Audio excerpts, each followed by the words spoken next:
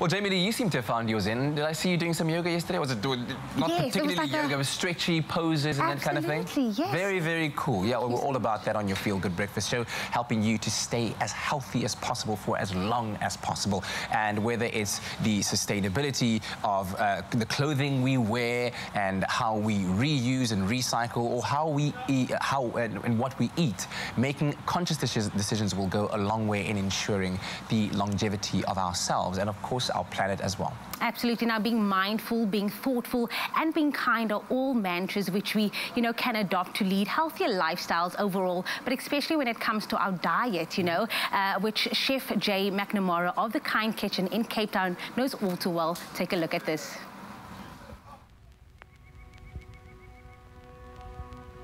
I've been asked this question so many times why vegan? And I remember the moment quite clearly, the moment that I decided to stop eating animals. I was watching the documentary film called Earthlings. And at the time of watching the film, I hadn't eaten beef, lamb, and pork for many years as I didn't feel the need, and part of me had already begun to sympathize with these sentient beings. I was so disconnected from the food I ate, and it was in that moment that I decided to change to a vegan lifestyle by learning how to cook vegan and change my eating habits through a yogic way of life. Being an avid Star Wars fan, the concept of the light side and dark side resonated with me and was easily translated into this road of veganism that I now found myself on. So, what led me to becoming a chef or wanting to become a chef was basically a yogic way of life. A yogic way of living shows to be kind and um, compassionate to all things living and all things around you, really. So, all of this started to make me think and contemplate more and more about myself and my own existence. Because the only way to really change the world around you is to start with yourself, right? And I thought, okay, so how do I change the world around me. I've got to start with me. And how am I going to do that? And that's through these actions of being kinder, eating kinder. And I decided then to go and study more yoga philosophy in the States. And with that came uh, an opportunity to study chefing in Austin, Texas. Having come from an advertising background, I realized and I understood full well the power of a brand. And for me, my brand was going to be kindness. I met Jay many years ago. He um, happened to be a yoga instructor at my sister's yoga studio. He had that real depth of his energy and kindness and compassion really shines out of him, out of every pore. My link to the sanctuary has been uh, through a very good friend. His sister and I go back uh, in our yoga journey together. We started studying a form of yoga which is called Jivamukti Yoga. And uh, from Jivamukti's point of view, the main aspect to it is animal rights and animal liberation. So the link per se to Greyton happens to be through the lineage of yoga, which happens to be through Mike and his sister. And yeah, so there's quite a connection um, that has led us to this point.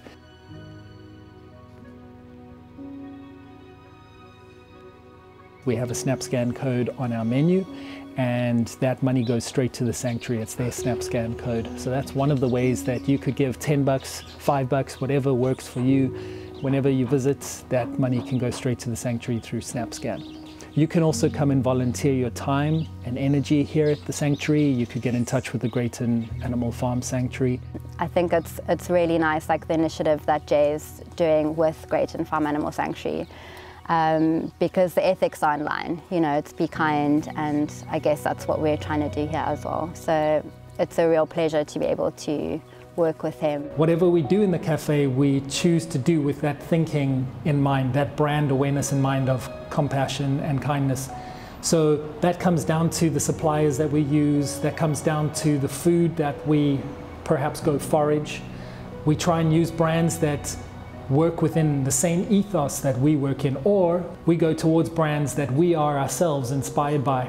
And those brands happen to be global and local brands because I use Be Well mayonnaise on a daily basis. And the, the product that they've created for a simple small kitchen like ours has helped us efficiently create products day in, day out that are consistent in taste, quality, and flavor.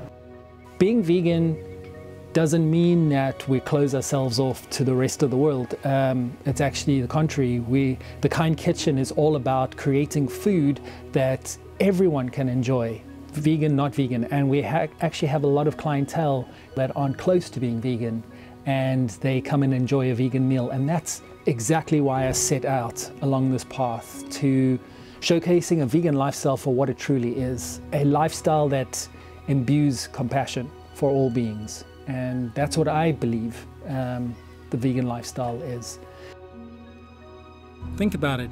It's easy to say no or to be cold and unkind because it means you create barriers to protect yourself from the world around you. Inversely, being kind means breaking those barriers down and opening ourselves up to unlimited possibilities. The Kind Kitchen embodies this mantra to be kind. And being kind, in my mind, means creating good, wholesome food for people to enjoy, which just so happens to be vegan. Oh, wow. wow. how's that? Yes, it looks so good. Right? And I love his philosophy, being, you know, breaking down those barriers to open yourself up to a world of other possibilities out there just by, by being kinder. Wow. Thank you very much for those words and inspiration. Absolutely. And again, just by being kinder and more mindful of our actions and choices, we create, you know, just a bright and more sustainable future for ourselves, our environment and our children. And it's so funny on social media today, we were speaking about, you know, veganism and yes. maybe some of the vegan recipes that people at home love and, uh, you know, have been trying. And we got some social media comments that came through. One from Lelo saying, good morning, guys. My favorite vegan meal is a quinoa salad, but I'm not vegan.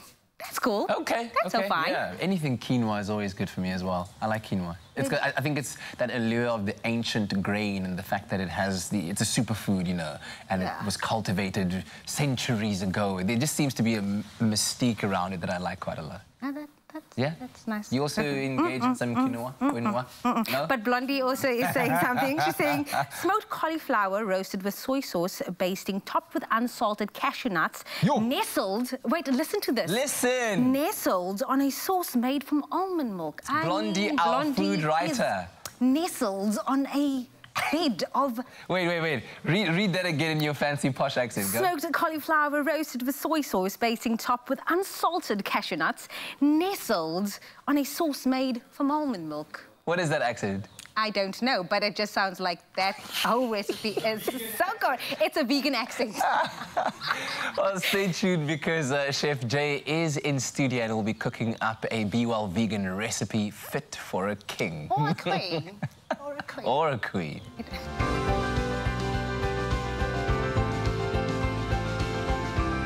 Be Well. Love, food, life.